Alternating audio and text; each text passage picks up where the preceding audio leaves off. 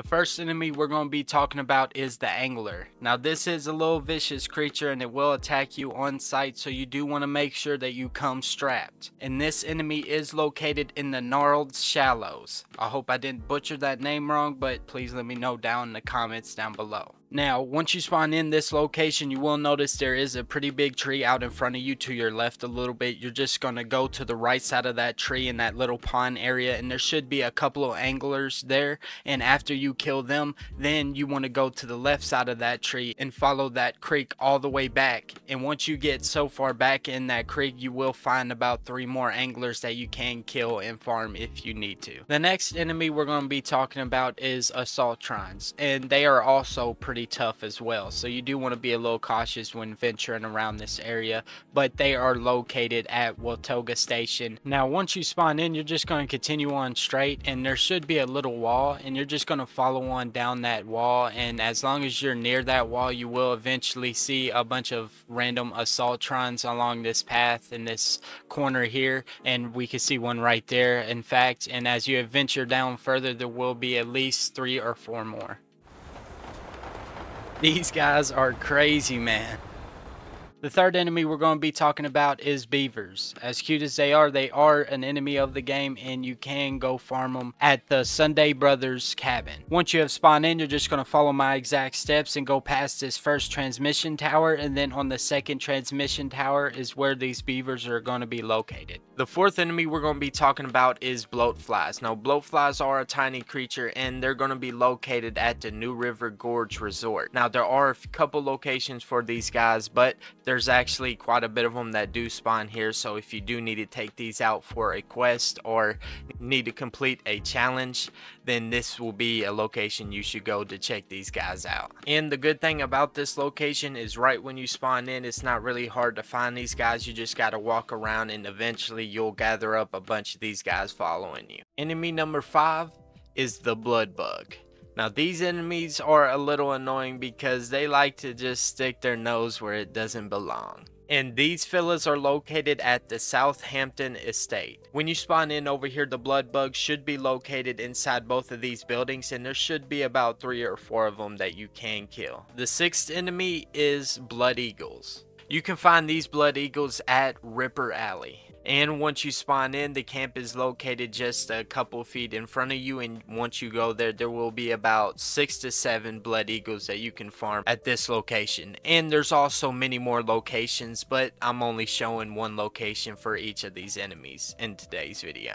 The seventh enemy is Brahmin or creature but Brahmin is supposed to be Fallout's cow, I believe. And these cow-like creatures will be located at the Wayward. And once you spawn in at the Wayward, then you can just walk over to the right side of the building and they will be located over here alongside a robot if you've completed enough quests. Enemy number 8, the Cave Cricket. Now, I would suggest you guys to attack these one at a time unless you're a complete boss, but if these guys do bunch up together and attack you, you're probably going to end up dying and having to respawn. These guys are located at Tanagra Town, and once you spawn in over here, there will be a giant tree, and it's a little jumbled up with a lot of junk also, and we'll be able to walk on top of this tree. Now, if you follow exactly what I do, you do want to be careful when coming up here, because if you do fall, you could possibly die unless you are in power armor but once you get to the top there is a cave entrance and this is where all of these guys are located and they are pretty powerful. As you can see they did kill me but there are quite a bit of them about six to seven. Enemy number nine a chicken it seems like he just wants to play in the water. If you want to go find this chicken, he is located at Foundation. And once you spawn in at Foundation, you're just going to follow me. And we're going a little bit to the left from where we spawn. And when you find a pond and a generator on the left side of Foundation, then you found the right place. And if he don't spawn in, in my case, I believe somebody ate him. But usually he will be in this location. Enemy number 10, the cultists. Now, these guys are the people that worship the Mothman. And I'm just gonna be honest with you, they are bad shit crazy. And these guys are located at Point Pleasant. And when you spawn in, once you get past the bridge, basically everywhere in this location, you'll see a bunch of cultists. You'll find 15 plus cultists in this location. And they're gonna be pretty strong, so make sure you do have a pretty decent weapon with you. Enemy number 11 the Deathclaw. Now this enemy is really tough and this is mainly for higher level players but you low levels could possibly go and see what he's all about. And he's located on the Deathclaw Island. Once you spawn in you will have to cross this water right here and once you cross this water there will be a nest a little bit to your right and when you find the nest he will come outside of the ground and then you will have to fight him or run back across the water if you weren't ready to fight him. Enemy number 12, Fireflies. Now these guys are pretty much useless in my my opinion, except for some events, but if you needed to find them, they are located at Arctos Pharma. Once you spawn over at this location, you're just going to follow my steps, and once you make it inside the building, you're going to go inside the elevator, and after you get outside the elevator, you're going to go to your left, and these fireflies should be located next to the big metal pipe.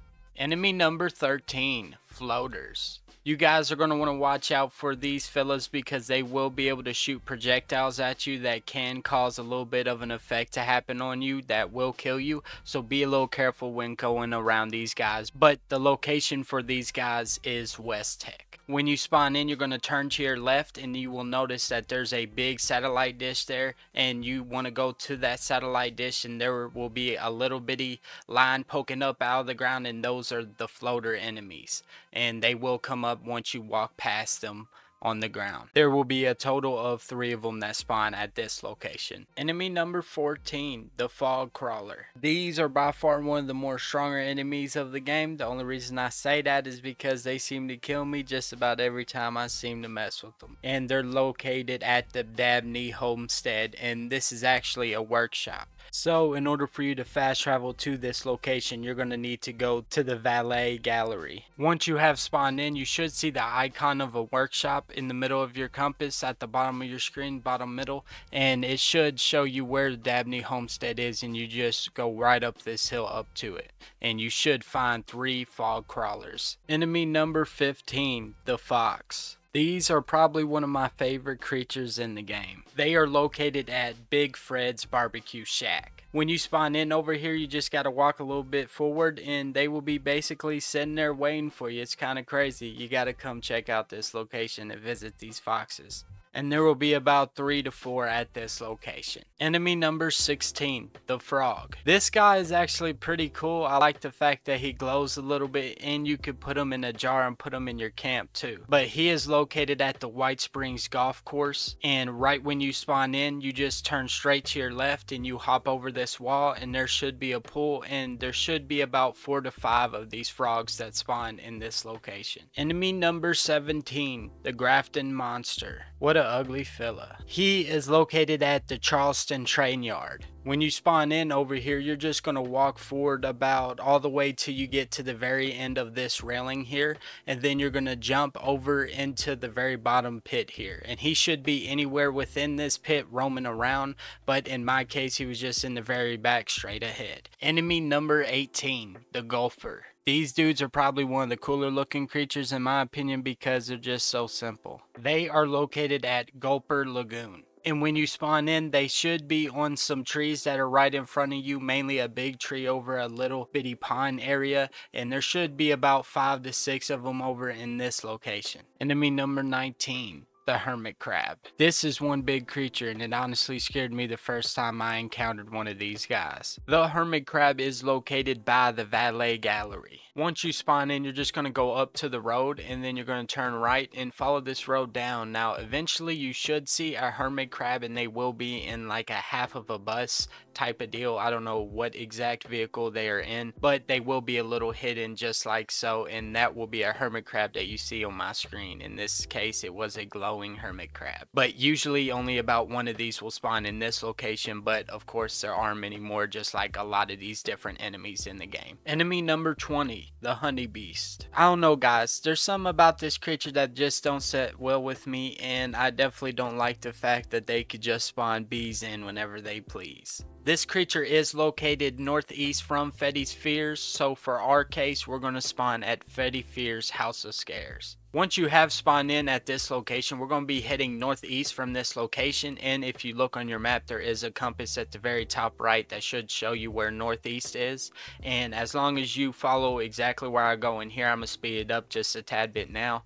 And once you make it to a cave, which shouldn't be a named cave at all, it's just going to have two honeybees that are going to be in there that you can kill and farm if you need to. Enemy number 21, the Mega Sloth. Now, Mega Sloths usually don't attack you right away unless you attack them first, and I did have to attack them for that clip, but they are usually some pretty calm creatures. The Mega Sloth is located in Tanagra Town. Once you have spawned in, all you're going to do is go a little bit more towards the right of this big giant tree in the middle here, and you should find a Mega Sloth anywhere around this tree and around this area there will only be one that spawns in this area. Enemy number 22, Mirelurks. Yeah, none much to these guys other than do not hit them in the shell, try to hit them in the face or more in the chest, and they just look pretty creepy. These Mirelurks are located near the White Springs bunker. When you spawn in, it's actually quite simple to get to these guys. They are a little bit by the snake on the map that you see, that little snake icon, but you will have to go inside of the fence in the White Springs golf course area here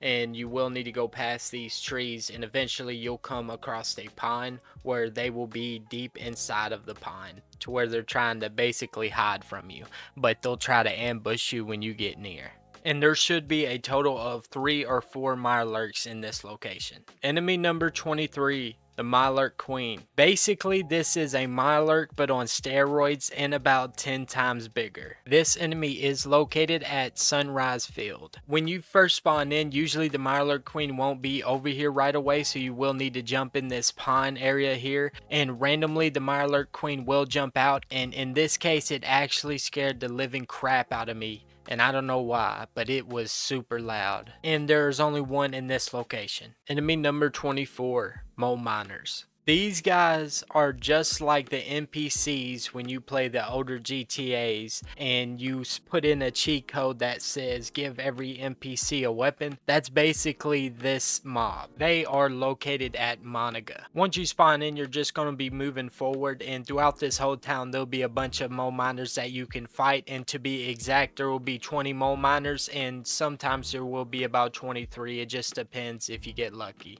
Enemy number 25 mole rats. Honestly, I don't like these creatures. I find them quite annoying. They are located at Gauley Mine. Once you do spawn in, you're just going to go through this wooden area and you should find a regular door to the entrance to the mine. And once you enter the mine, there should be about 10 to 15 mole rats that spawn in this location and they will be spread out all the way through the mine. Enemy number 26 through 31. The Mothman, the Rad Rat, the Tick, the Scorched Deathclaw, the Ant, and the Wendigo. These enemies are all located at the transmission station 1AT. When you get inside of this location, you're just going to head left past these rad showers, which are actually spewing out rad, so be careful with that. And there should be a Mothman when you enter the second room. This first room here is just going to be filled up with some rad, so be careful in here.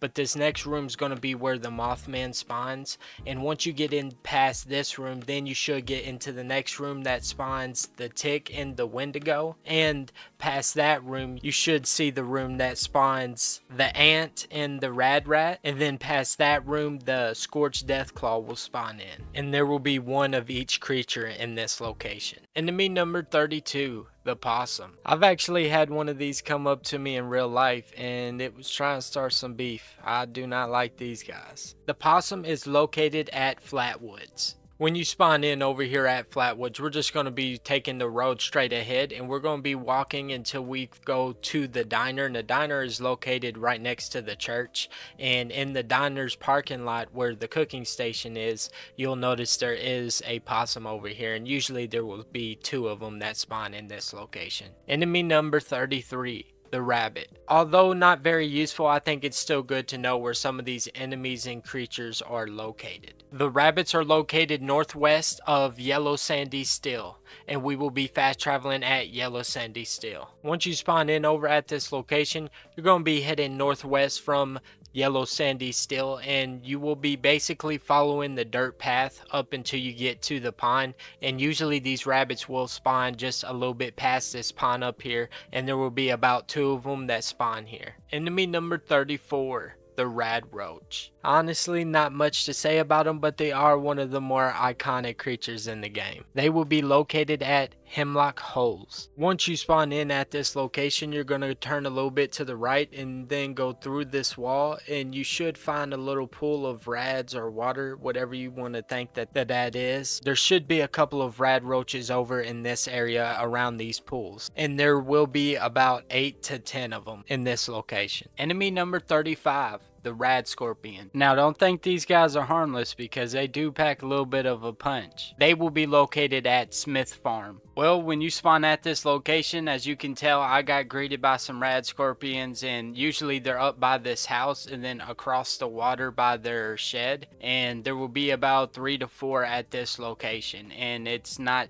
too hard to find these guys. Enemy number 36, the Rad Stag let's just say the Rad Stags have made a lot of things happen that probably shouldn't have happened in the game. They will be located at the Denton Sons construction. Once you spawn in, you just completely turn around and then walk down the path and the road will eventually break up. Then you turn a little bit to the right and you should see a broken down red barn and right behind that should be about 6 to 7 rad stags that you can kill if you get lucky. Enemy number 37, the rad toad let's just say they got way too many eyes for me. The Rad Toad is located near the Grafton station. Once you have spawned at the Grafton station, you're just going to follow the stream that's right beside it. You're going to be headed into Grafton, and as long as you go past this bridge, you should eventually see a couple rad toads, and there could be anywhere from three to four of these guys over near this area. Enemy number 38 through 40.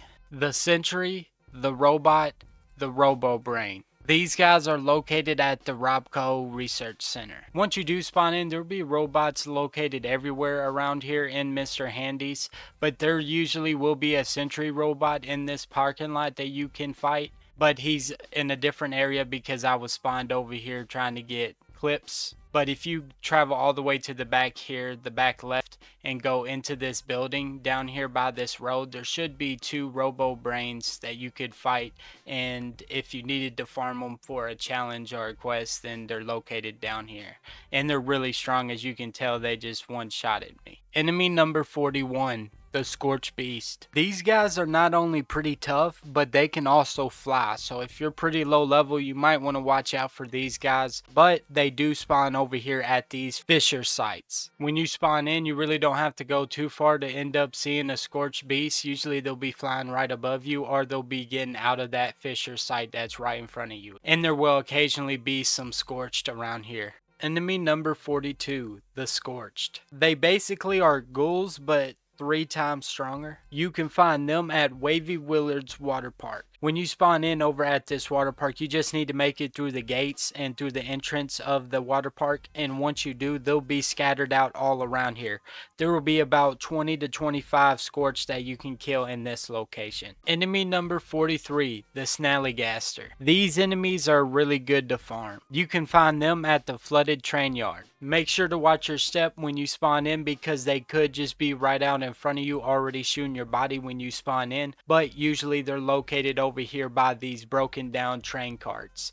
And there's about five to six of them that you can farm in this location. Enemy number 44, the squirrel. This dude is just a really tiny creature. You can find them at the White Springs bunker. Once you spawn in, you just got to jump on top of the bunker and in the woods back behind there, you'll randomly find some rabbits and some squirrels. And there should be a total of five, but in my case, I only found one. So there's a random amount that will be back here, but you will be able to find at least one squirrel back here. Enemy number 45, the Stingwing. Based on how they look, they look like dragonflies. You can find them at Bleeding Kate's Grindhouse. Once you have spawned in, all you gotta do is walk a couple feet and go inside the little fort area and there should be about 3 to 4 Stingwings that you can kill and farm if you need to. Enemy number 46, the Super Mutant. Now the problem with the super mutants is is basically this was WestTek's Captain America experiment.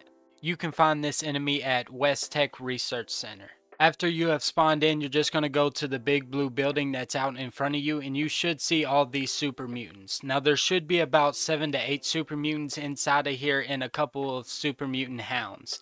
And a turret also you got to watch out for. And there is many more inside of the building.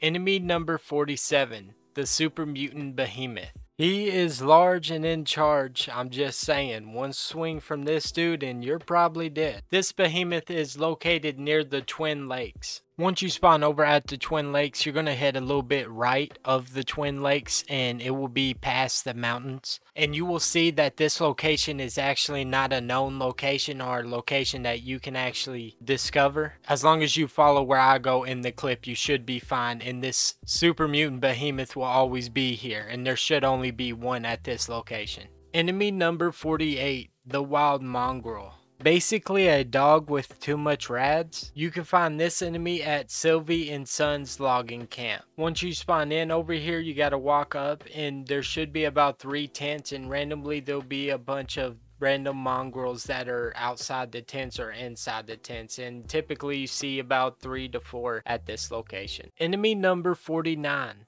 the wolf. You really barely run into these creatures and I think they're pretty rare to run into. You can find this enemy at Autumn Acre Cabin. When you spawn in, you should be put on a dirt road that leads straight to the cabin. And I don't know what it is with these spawns and these enemies being able to attack you while you're spawning in, but there seems to be about four to five of these wolves in this location. Enemy number 50, the Yao Guai. This is more of the more widely known aggressive creatures. You can find this enemy at the Philippi Battlefield Cemetery. Once you spawn in, you're just going to continue on the road and go past the cemetery in this building. And in the parking lot, there should be one Yao that you could kill and farm if you need to. Well, guys, I really do hope you got some use out of today's video. And if you did, please let me know down in the comments down below. And make sure to smash that like button and subscribe to the channel because I'm putting in a lot of work so that hopefully you guys can have an easier time in the game.